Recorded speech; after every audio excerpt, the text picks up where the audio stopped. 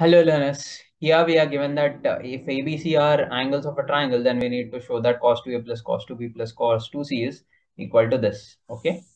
Now I'm going to start with what is already given. Here we are given that ABC are angles of a triangle. What is sum of angles in a triangle? 180 degrees. So a plus b plus c is nothing but equal to pi, which is 180 degrees. That's going to be my first step a plus b plus c is equal to pi since ABC are angles of triangle. This would be my first step. Now I'm going to start with the LHS and I'm going to arrive to RHS with some operations. Okay. Now I'm going to group the first two terms uh, in one bracket. Okay. This basically means that I'm going to apply a form apply a formula on these two terms. Okay. It, it clearly shows that you know you're going to apply formula on these two terms. Now there is some there is a formula known as cos c plus cos d. Okay. Cos c plus cos d is 2 cos c plus d by 2 cos c minus 2 d by 2 okay? So that's why cos 2a plus cos 2b would be 2 cos 2a plus 2b by 2 cos 2a minus 2b by 2 plus cos 2c okay? Uh, again don't forget to mention this formula okay? Whenever such important important formula are used you need to mention it fine? Now here 2 2 would get cancelled everywhere uh, in these two brackets and hence I'd be left out with 2 cos a plus b into cos a minus b plus cos 2c. Okay. Now, now in place of a, uh, I'm going to, you know, write this a plus b as pi minus c. Uh, look at here at the top, come to the top. See, basically a plus b plus c is pi. So a plus b would be nothing but pi minus c. So that's what I'm going to use it here. So I'm going to write pi minus c in place of a plus b. So 2 cos pi minus c cos a minus b plus cos 2c. All good. Now, what's cos pi minus theta? Minus cos theta.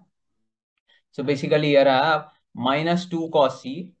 Okay, again, don't forget to write this uh, reason, okay? That uh, why why is, you know, why did you substitute a plus b with pi minus c? This is the reason, okay? Whenever you come across such steps, either put it to the side of it or just under it like how I have shown it to you, leaving some space in the beginning. So minus 2 cos into cos a minus. Now, uh, what is the formula of cos 2c? It's 2 cos square c minus 1. Okay. Cos 2a is 2 cos square a minus 1. So cos 2c is going to be 2 cos square c minus 1. Okay. Now let's go ahead.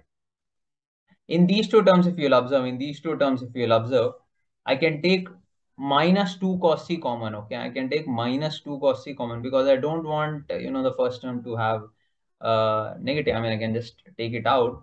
So in the, from these two terms, I'm going to take minus 2 cos c common. So I'd be left out, I'd be getting minus 2 cos c into here. Uh, if I'll take minus 2 cos c common, I'd be left out with cos a minus b. And here I'd be left out with minus cos c because I'm taking minus 2 cos c common. Okay. And this minus 1 would be there as it is.